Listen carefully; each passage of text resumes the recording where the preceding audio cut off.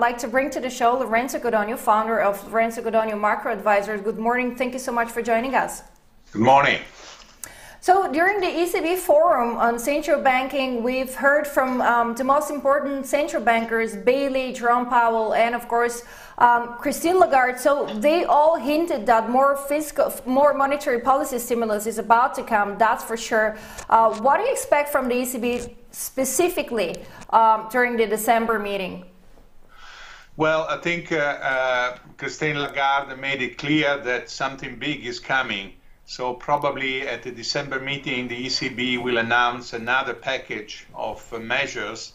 Uh, my guess is that there will be more uh, asset purchases and there will be more uh, cheap financing, so TLTRO. Probably no changes in interest rates.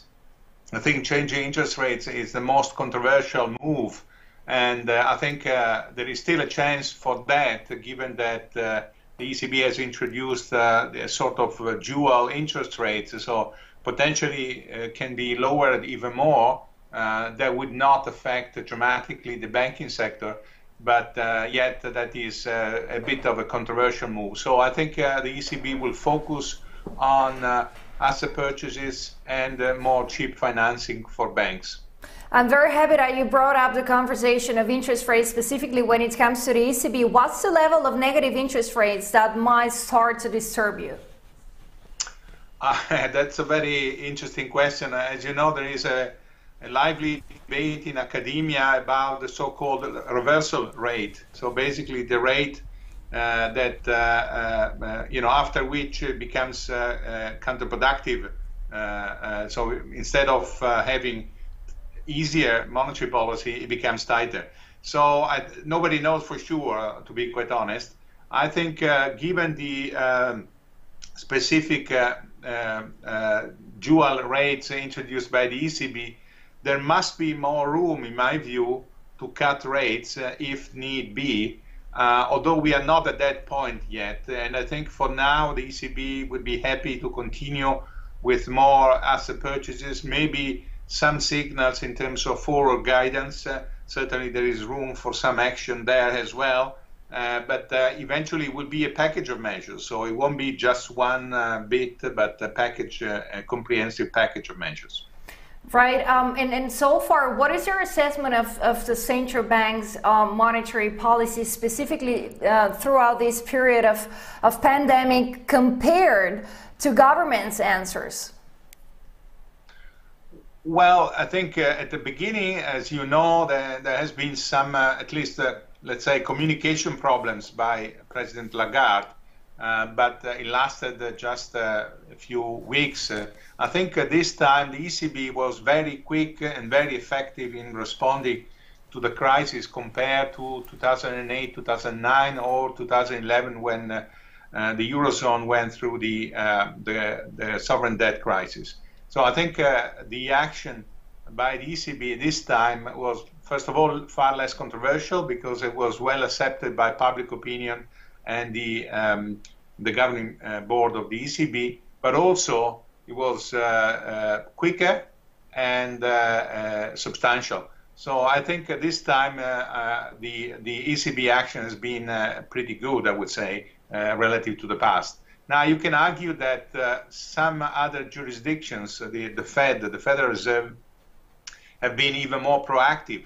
So they've done even more, and, and, and probably they've done uh, uh, in terms of uh, quantity and in terms of uh, speed uh, even more than, than the ECB. That is fair, but you have, we have to acknowledge that the ECB is not yet the central bank of, you know, of, a, of a common of a country. It's it's a common area, so there are different sensitivities, and uh, needs to move uh, only when the, the, the governing council is sure that there is enough consensus. And this consensus building usually takes time and uh, um, allows only uh, more gradual moves. Having said that, again, uh, this time I think the ECB behaved very well.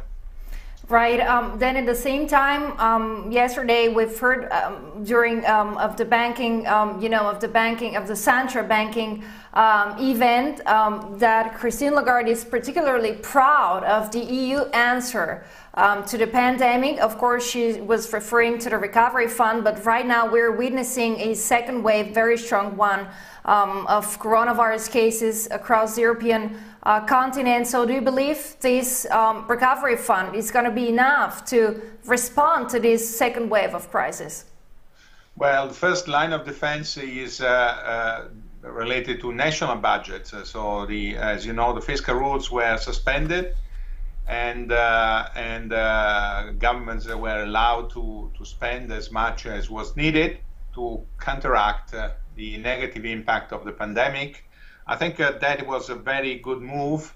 Um, indeed, governments, without much coordination, I would say, but they basically took, uh, broadly speaking, the same decisions. So income support, uh, support for, support for uh, unemployment schemes, and so forth, especially for the um, sectors that were hit hardest.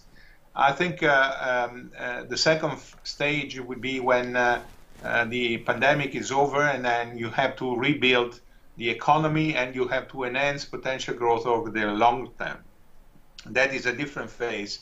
And uh, in that in that uh, situation, I think you very much need uh, the support of the um, recovery plan, Next Generation EU, which is a massive plan. And just a few days ago, there was a final compromise between the Council and Parliament, which means that probably it's going to move quickly now. Uh, there is a big problem about, about uh, ratification at national level, but uh, with a little bit of pressure, I think no country would take the responsibility to uh, to reject uh, the package, especially some countries that have been, uh, um, you know, under the spotlight, uh, such as Hungary and Poland, because of the rule of law. I think they they're going to receive a lot of money. So I think uh, I'm confident that uh, the countries will move quickly to ratify the the package, and which means that in late spring next year it will become fully operational. So I'd like to touch on also uh, Jerome Powell in the United States um, yesterday, and not only also during the Fed uh, meeting. Um, Powell was criticized many times by journalists that he did not push on Congress to um, launch a second fiscal stimulus uh, package, or let's say aid, which was extremely necessary for the United States. What do you think will change from this point of view uh, with, with the upcoming administration, which, of course, I'm talking about a Biden administration? Yeah, I mean, Powell is very careful. I think uh, uh, clearly um, he's in a difficult position. Uh, um, he's actually managing monetary policy in a situation uh, of uh, change in the administration. And so it's a delicate political moment. He doesn't want to to uh, kind of send any strong signal to the new administration or the old one. It is understandable in my view. Nevertheless, it's clear that uh, even in the US, uh, most of the action must come from the fiscal side at this stage because there's not much uh, leeway on the monetary side.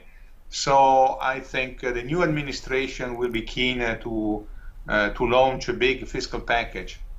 The problem, in my view, and we don't have yet the final results of the um, presidential elections, if Joe Biden will not have the full support of the Senate, will have to compromise with the Republicans, which probably means that the overall size of the package will be somewhat smaller.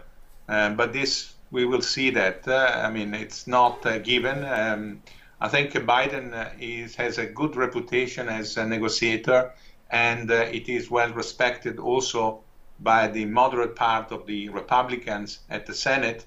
So we will see. I think there is a chance uh, for sure to have a big package. How big it's going to be remains to be seen, and it will depend uh, how the final outcome at the Senate will be and how uh, good will be uh, Joe Biden to negotiate with the opposition at the Senate. Right, certainly.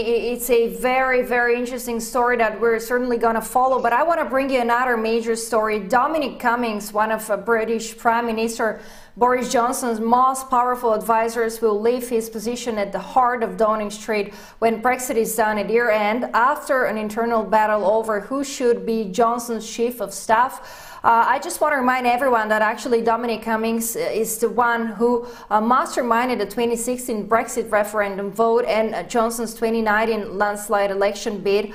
Um, told the BBC that his position had not changed since January when he said he wanted to be largely uh, redundant by the end of this year. So, what do you think will change in regards to the Brexit talks that are supposed to resume in the upcoming week? Uh, well, let's say Dominic Cummings been, uh, has been a very controversial uh, figure uh, within uh, the UK government. Um, um, he didn't go along very well with the ministers and uh, with the media, and so he was very much a, a you know controversial figure. So I think um, you know the official statement is that he was about to step down anyway, but um, there are some uh, rumors uh, that uh, the, the decision was triggered by leaks on um, coronavirus and the lockdown. Uh, keep in mind that that follows also another resignation, which is Lee Cain, the head of communication. So it looks like uh, the vote leave team is actually weakening in the in the UK government, which might be a good sign.